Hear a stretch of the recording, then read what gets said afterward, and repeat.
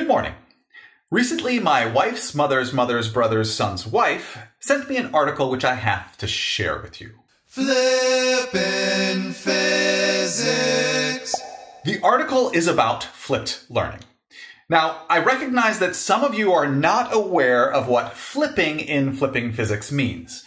The flipping in flipping physics is not a pejorative, not an epithet, not even a euphemistic expletive. The flipping in flipping physics refers to the educational pedagogy of flipped learning.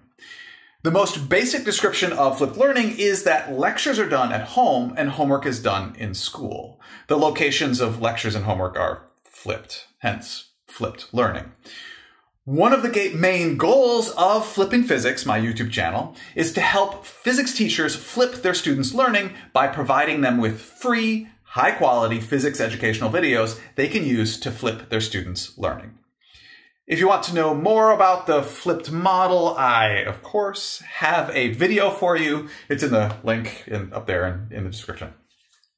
Okay, let's talk about the article. It is called Flipped Learning. What is it and when is it effective? And it's from the Brookings Institute.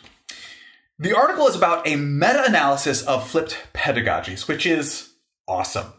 I have always felt that flipped learning is better than traditional in-class lecture-based learning.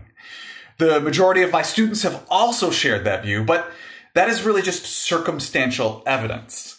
Now we have a meta-analysis which analyzed 317 different studies that compared the effectiveness of flipped and lecture-based courses taught by the same instructor. Again, link to the article in various places. Here are some quotes from the article. Is flipped learning more effective than lecture-based learning? Yes, it certainly can be. Students in flipped classrooms performed better than those in traditionally taught classes across all of the academic outcomes we examined. In addition to confirming that flipped learning has a positive impact on foundational knowledge, we found that flipped pedagogies had a modest positive effect on higher order thinking. Flipped learning was particularly effective at helping students learn professional and academic skills. Well, now that is just awesome. It is so good to have meta-analysis corroboration that flipped learning is more effective than traditional lecture-based learning. More from the article.